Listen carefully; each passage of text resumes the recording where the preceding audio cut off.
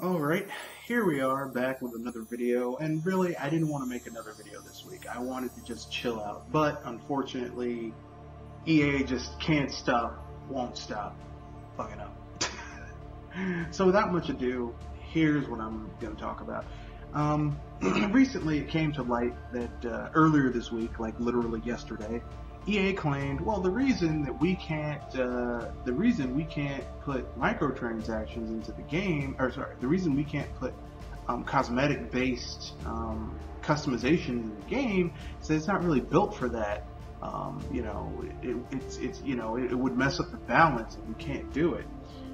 And literally, the next day, today, the 30th, they, it turns out that buried in the code of Battlefront 2 is in fact a uh, all the options for um, the game to be uh, all those uh, customizations that were in uh, Battlefront 2015.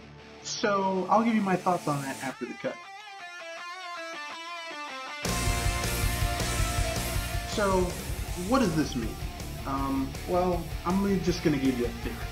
Okay, I'm not you know, I wasn't under the bed. I wasn't there in the uh, in the uh, in the studio, but I believe that Star Wars Battlefront 2 was built using the same engine they used for Star Wars Battlefront um, 2015.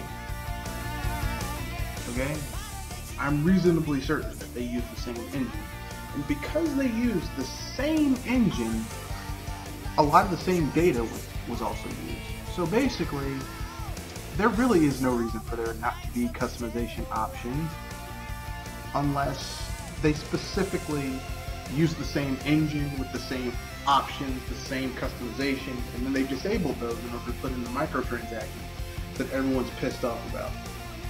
So, I mean, basically, here's what happened, okay? I think in 2015, when they released that abomination of a Battlefront game, they said, hey, um, we're going to use this season pass shit. But not enough people bought the season pass. People were perfectly happy just unlocking shit and playing the game. And then, you know, uh, you know, EA doubled down on this loot box shit because, you know, all these dumbasses who play FIFA and Madden. And I know people are going to say, but, I mean, it doesn't bother me. Look, listen, okay? If if you're a person who buys Madden and FIFA every year, year over year, and you put like you know 20 30 40 50 60 dollars a month out of your pocket into EA's pocket you're a dumbass. Okay? And I know some people might be offended but if you're one of those people you're part of the problem. Stop. But that's neither here nor there so EA essentially says, well, uh, you know, we'll, we'll put these loot boxes in the game, we'll disable customization so that these dumbasses, you know, it's Star Wars. These dumbasses love Star Wars. They'll just do it. They'll, they'll, they'll, they'll pay for it. We'll milk this, we'll milk this teat until it's dry and powdered milk is coming out. And that's what, that's what they tried to do and people aren't having it. And I'm loving it. I'm loving it. So, I'll give you some alternatives to Battlefront 2 that you could play if you need your Star Wars fix after the cut.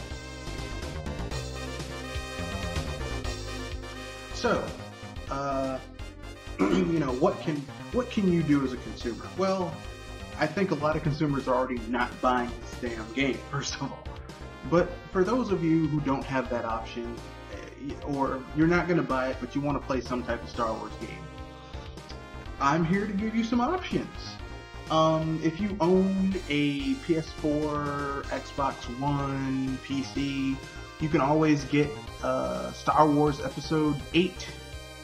Um, the Force Awakens, that game. Um, it's from the Lego people, but I mean, Star Wars. Uh, if you want something that has, um, if you want something that's a little bit more Battlefront-esque, you can still get your hands on Battlefront 2 on PC. And the game is not very, how can I put this? It's not graphically intensive, so you can have all that fun, and guess what? You don't have to pay EA a damn dime. so that's always a plus. Um, you know, if you know someone who has a Wii or a GameCube, you can always play Star Wars Rogue uh, Leader or Rogue Squadron 3. Those are those are always really good games to play. Um, even though the first one, Rogue Squadron 2, just pretty much feels like a it feels like Rogue, the first Rogue Squadron done better. but hey, the option's there. You got you got options. So, um, you know, if you have know someone who has an N64, you can always play the original Rogue Squadron or Pod Racer. I personally hate Pod Racer, but hey, if you if you like that game, you can you can play that. But my point is that all of these games, none of these games are put out by EA. Um, if you have the Wii Virtual Console or the Wii or Wii U, you can always play Super Star Wars, Super Empire Strikes Back, and Super Return of the Jedi. Those games are really good.